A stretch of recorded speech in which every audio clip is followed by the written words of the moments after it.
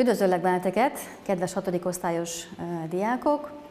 Folytatjuk ma is az egyenes arányosságot, méghozzá ma gyakorolni fogunk, megtanuljuk magát a grafikont rajzolni, és az érték táblázatot is pontosan felvenni. Nézzük először is ismétlésként, ugye ez már nem új fogalom számotokra, mik azok az összefüggő mennyiségek még, még egyszer. Előtte nézzük meg, mi az, hogy mennyiség. Maga a mennyiség szó ugye azt jelenti, hogy valamiből mennyi van, kettő és fél, sok, kevés, öt méter, stb. Tehát valami nagyság, darabszám, valamilyen számokkal kifejezett nagyság. Az összefüggő mennyiség, mikor beszélünk arról, hogy két mennyiség összefügg, ugye ezt már tegnap is láttátok, az előző órán is láttátok, hogyha az egyik mennyiség nő, akkor a másik mennyiség is nőni fog, vagyis az egyik az kihat a másik változására egy irányban.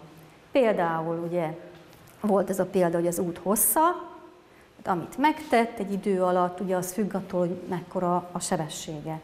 Vagy, hogyha egy bizonyos munkánk van, és azt el kell végezni bizonyos idő alatt, az attól is függ, hogy hányan fogják ezt a munkát elvégezni. Vagy ugye emlékeztek a fánkos példára, akár tegnapról.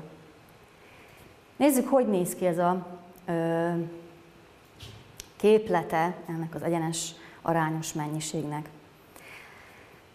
Hát most, hogy ránéztek erre a y egyenlő k x ö, egyenletre, akkor lehet, hogy azt mondjátok, hogy jaj, mi a csuda ez, hiszen eddig megszoktátok, hogy két számot összoroztatok, vagy, vagy egy egyenletben csak egy ismeretlen volt, vagy egyáltalán ö, hogy is néz ki ez valójában, mit akarnak ezek a számok, miért számokból ezek állnak, ez, áll egy, egy ez az egyenlet. Ez a mennyiség kifejezés. Tehát ugye azt tudjuk, hogy van x és y változó mennyiség, ugye ezt nap is láttuk, hogy a táblázatból két mennyiségünk van, és az ő összefüggéseket ilyen módon lehet fölírni, hogy y egyenlő k szor x. Zárójelben ezt felismeritek ezt a kijelentést, ugye azt jelenti, hogy a k ez a valami itt, amit mindjárt megmondok, hogy micsoda, nem lehet nulla. Ugye tudjuk, ha nullával szorzunk bármit, bármilyen számot, akkor az értéke nulla, tehát nincs értelme, nem lesz jelentőség ennek a kifejezett mennyiségnek. És hogyha ezt a föltételt írjuk föl, akkor azt mondjuk, hogy ez az x és y egyenesen arányos mennyiségek.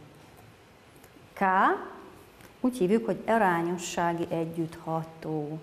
Magyarul ez egy konkrét szám fog lenni, ami ebben az egyenletben mindig ugyanaz a szám lesz. Tegnap például az volt, hogy 50 dinár egy fánk, tehát hogy a K az 50 dinár. Nézzük például az X. Tehát rajzoltunk egy táblázatot, amiben vettünk föl valamilyen értékeket. Az, hogy egy fánk, két fánk, három fánk, négy fánk, tehát bármennyi értéket, bármit tudunk rá venni, és meg fogjuk kapni majd azt, hogy mennyibe kerül valójában az a 2, 3, 4. Ezért az x-et, ez is egy szám lesz, független változónak hívjuk, azért független, mert bármit vehetünk rá, bármilyen értéket vehetünk rá. És ennek köszönhetően a, ezt a két számot összeszorozzuk, akkor megkapjuk y értékét, ami természetesen függő változónak is nevezünk, pont azért, mert függ az x-től, függ a számtól. Tehát ezt jegyezzük meg, hogy y egyenlő k szor x egyenes arányos mennyiség kifejezése. Na nézzünk rögtön egy konkrét példát, vedd elő a füzetedet, ha fölérted ennek a ö, képletét, akkor írjuk ezt a példát le, hogy ábrázold az y egyenlő 2 x függvény grafikonját. Első lépésként, mint tegnap is, az előző órán, készítünk egy értéktáblázatot. Készítünk egy olyan táblázatot, ami szintén ilyen formában néz ki, hogy a vízszintes sor az x értékeit fogja tartalmazni, a másik vízszintes sor pedig az y értékeit fogja tartalmazni, és akkor én azt mondom, hogy vegyünk egy 5 darab értéket, és számítsuk ki. Én ezt választom. A mínusz kettőt, a mínusz egyet, a nullát, az egyet és a kettőt. Tehát én ide bármilyen értéket vehetek, igyekezzünk olyan értéket venni, hogy a, amikor lerajzoljuk, akkor ö, szépen tudjuk ábrázolni, és ne kelljen túl sok pontot ö, felvenni a koordinátorrendszerben. Hogyan számolunk? Ezt mondja a függvény. Y egyenlő 2 ször x. Tehát ennek a sornak az értékeit megszorzom kettővel. Vagyis 2-ször mínusz 2, az mínusz 4. 2-ször mínusz 1, az mínusz 2. 2-ször 0, az 0. 2-ször 1, az 2, és 2-ször 2 az 4. Tehát megkaptuk az értéktáblázatunkat. És most jön az, hogy ábrázoljuk a koordinátorrendszerben az összetartozó értékpárokat. Tehát első lépésként rajzolsz egy koordinátorrendszert, ahogy az előző órákon már tanultátok. Az X-tengely vízszintes tengely, ezt eddig is ismertétek, és a nullát, amikor megjel, megjelölöd, amit másképp origónak és kezdőpontnak is nevezünk, akkor nullától egyenlő távolságra nagyon fontos, itten kis ö, minden négyzetnél jelöltünk számokat, de te tehetsz minden másodiknál, illetve nullától balra mínusz egy, mínusz kettő, mínusz három, úgy, ahogy csökkennek a számok negatív irányban. Húzunk derékszögben nullába egy másik tengelyt, azt hívjuk Y-tengelynek, és őt szintén ugyanígy számozzuk be, nullától fölfelé egyenlő távolságokra indulsz, illetve nullától lefelé egyenlő távolságra indulsz. Mi történik? A táblázatban azokat a pontokat, amiket itt látunk, x és y koordináta, tehát az első pontomnak az x koordinátája mínusz 2, a második pedig mínusz 4, akkor azt látjuk, hogy mínusz 2 az x tengelyen, és mínusz 4 az y tengelyen. És ott, ahol találkozik, ugye párhuzamosan y és párhuzamosan x tengelyel, ott lesz nekem az első pontom. Ugyanígy mínusz 1, mínusz 2 az x tengelyen, és mínusz 2 az y tengelyen. Ha nullával szorzunk egy számot, akkor a nulla, Ugyanígy egy x tengelyen, szaggatott vonallal, párhuzamosan y tengelyel, és 2 y tengelyen. És akkor jön a harmadik, 2 x tengelyen, y tengelyen, 4, tehát kaptunk 5 darab pontot, amit nem csinálunk mást, mint hogy összekötünk, nem csak ponttól pontig húzott, hanem ezt túlhúzod, mert ez egy egyenes. Tehát azt látjuk, hogy ennek a függvénynek a grafikonja, egy egyenes. Nézzünk egy pár ö,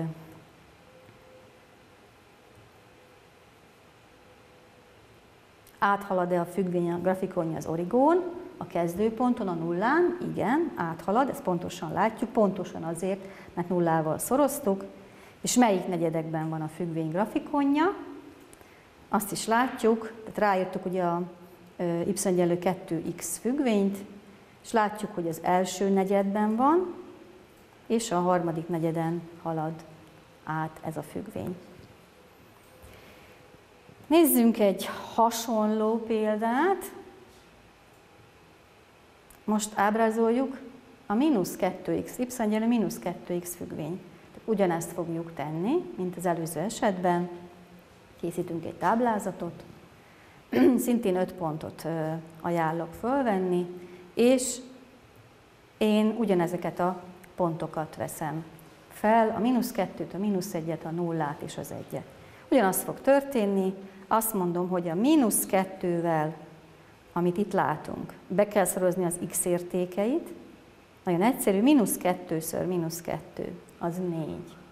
Mínusz kettőször kettő, mínusz egy, az kettő. Mínusz kettőször nulla, megint nulla. Mínusz kettőször egy, mínusz 2, és mínusz 2-ször 2 az mínusz 4. Szintén rajzolunk egy koordinátorrendszert, Én azt gondolom, hogy ez most már menni fog. És ugyanígy ezeket az értékpárokat, amiket itt látunk, a mínusz kettő és a mínusz és a négy a párja. Tehát azt látjuk, hogy az előzőhöz képest az y értékei azok teljesen ellentettek. A mínusz egyben kettő az y, ha nullát veszünk, akkor nulla, ha egyet veszünk x-re, akkor az mínusz kettő, ha kettőt veszünk, az pedig mínusz négy. És szintén látjuk, hogy ezek a pontok ilyen szépen sorakoznak, tehát fogom és összekötöm őket, szintén egy egyenest kapok, akkor számoltam jó, hogyha az öt pont, ahány pontot veszek, mindegy egyenesen van, és pontosan meg tudjuk, ráírjuk a képletét, ugye ezt hívjuk valójában képletnek, amit itt látunk, rá kell írni a függvényre, y egyenlő mínusz 2x, azt itt megemlítem, hogyha az x és a szám között nincsen műveletjel, akkor is azt tudnunk kell, hogy ott szorzás van. Tehát a mínusz 2x, a mínusz 2 x az ugyanazt jelenti. Áthalad-e a függvény az origón? Szintén látjuk, hogy igen. Melyik negyedekben van, tehát mivel ez a szám, ez a k szám nem ugyanaz, ez egy negatív szám, akkor teljesen másik irányba fog a második negyedben, és ennek köszönhetően a negyedik negyedben. És akkor egy, mutatok két példát, amit ö, otthon házi feladatra fogtok megoldani. Y egyenlő x függvényt ábrázoljátok. Én most csak gyorsan megmutatom, hogy, hogy lássátok, hogy ez hogy fog kinézni. Első lépés. Táblázatot rajzolsz. Itt látjuk, látjuk, hogy sokkal több értéket vettünk föl, tehát minimum 5-öt fel kell venned. Ezeket az értékeket írtuk fel. És ugye olyan izgalmas ez a függvény, tehát itt nincs csak az x előtt szám, de mégis van, mert valójában azt jelenti, az y egyenlő x-el. Tehát a kettő szám megegyezik. Tulajdonképpen, vagyis az y értéke is ugyanazok lesznek. És maga a függvényünket, ha lerajzoljuk, akkor így fog kinézni. Másik feladat, ugyanez, ábrázolt, csak az y egyenlő mínusz x függvényt ábrázolt le. Szintén készítünk értékláblázatot, olyan értéket veszel bele, amilyet szeretnél, de mivel azt mondja, hogy az y az, az ő ellentetje valójában, tehát mínusz x, tehát ezeknek az ellentett értékeit fogjuk megkapni. Ha berajzoljátok, ezt most csak végigszaladok rajta, ezt otthon fogjátok megcsinálni, akkor megkapjátok a függvényt. És a végére egy olyan feladatot hoztam, amelyet ha tudtok követni, akkor csináljátok velem, illetve szintén otthon lehet ezzel próbálkozni, plusz, pluszért, plusz feladat. Ugyanabban a koordináta rendszerben ábrázoljuk az y egyenlő mínusz 4x, mínusz 4x, az y egyenlő 2,5-szer x, és az y egyenlő mínusz 1 x függvényeket. Azért adtam ilyen feladatot, hogy lássátok, hogy a, a k, ez a szám, ami az x-et szorozza, az bármilyen szám lehet, amit eddig ismertek, tehát lehet negatív szám, pozitív szám, lehet tizedes alakban szám, és lehet tört alakban is mínusz egy ötöd. Ezt külön fogjuk mindet lerajzolni, de egyetlen egy koordinátorrendszerben, és meg fogjuk beszélni, hogy melyik negyedben van. Rajzolunk egy koordinátorrendszert, úgy, ahogy eddig is, x tengely, beosztjuk az egységeket rámerőlegesen, az origóban, a kezdőpontban vagy nullában y tengelyt húzunk, szintén bejelöljük a számokat, ügyelünk arra, hogy merre növekszik, merre csökkennek a számok, és akkor nézzük először ezt az értéket y egyenlő mínusz 4x. Következő értékeket vettük föl, mint látjátok, csak kettőt. Miért? Azért, mert mi már pontosan megállapítottuk az első két feladatból, hogy a függvény grafikonja az mindig a nullán fog áthaladni, tehát nullát nincs értelme venni. Tehát kettő érték az már pontosan elegendő, de ez csak a feladat szempontjából, hogy gyorsabban haladjunk. Ha négyet, a 4x, a mínusz 4x-et megszorzom egyel, ugye? Akkor kapok mínusz 4-et, ha mínusz 4-et megszorzom mínusz egyel, akkor kapok 4-et. Berajzolom a pontokat, ugye itt látjuk a koordinátáit is ezeknek, tehát x és y koordináta, ahol eddig is tanultátok, 1 mínusz 4. És megrajzoljuk. Így néz ki ez a függvény. Nézzük a másodikat. 2 és fél szer x. Vagyis olyan értéket veszek, amivel szintén könnyebb ábrázolni, én most egyet is kettőt vettem. Kiszámoljuk, 2,5-szer 1, az 2,5, és 2,5-szer 5 az 5. Fölvesszük a pontokat, 1 és 2 és fél, 2 és 2 és fél, 2 és 5, bocsánat, másik függvényt ezt kapjuk meg. És a harmadik pedig a mínusz 1 ötödix, az azt jelenti, hogy egy tört számmal szorzunk számot, tehát olyan értéket kell vennünk, amely a legjobban ö, illeszkedik a, ehhez az 1 ötödhöz, tehát ami egyszerűsíti az egy ötödöt, az ötöt valójában.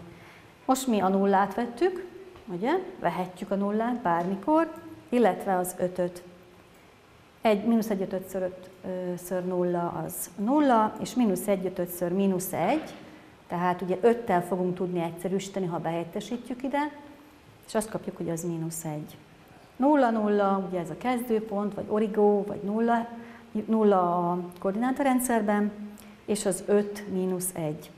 Berajzoljuk a pontokat, ügyelünk, hogy az x tengelyen 5-öt választunk, y tengelyen mínusz 1-et, a 0, 0 tudjuk, hogy hol van, és azt látjuk, hogy így néznek ki ezek a grafikonok, mit állapítunk meg, hogy egy darab függvényünk van az első és a, negyedik, a harmadik negyedben, és kettő darab függvényünk a harmadik és, bocsánat, a második és negyedik negyedben. E, annyi ebből a magyarázat, a válasz, hogy ha negatív szám a k, akkor ezekben a negyedekben, ha pozitív, akkor pedig ezekben a negyedekben található. A függvény grafikonja mindig nullán halad át az egyenes arányosságnál, illetve a, egy, a grafikon maga egy egyenes. Én mai órán ennyit szerettem volna veletek ö, megosztani. Ö, ez egy nagyon egyszerű függvény ö, ö, rajzolási mód, nagyon könnyű fölvenni a, az értékeket, illetve kiszámolni, és ilyen függvényeket kapunk. Következő órán az egyenes arányosságnál az alkalmazást fogjuk gyakorolni. Köszönöm szépen a figyelmet!